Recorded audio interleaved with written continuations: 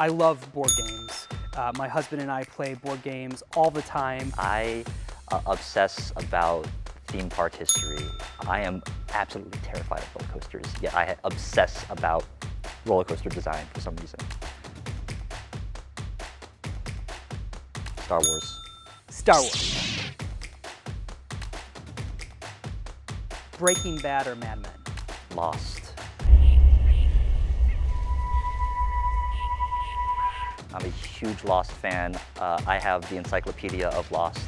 Ask me any questions about the Dharma Initiative. I will have an answer for it. I'm a great house guest. I, I believe in leaving every place better than it was when you, when you arrived.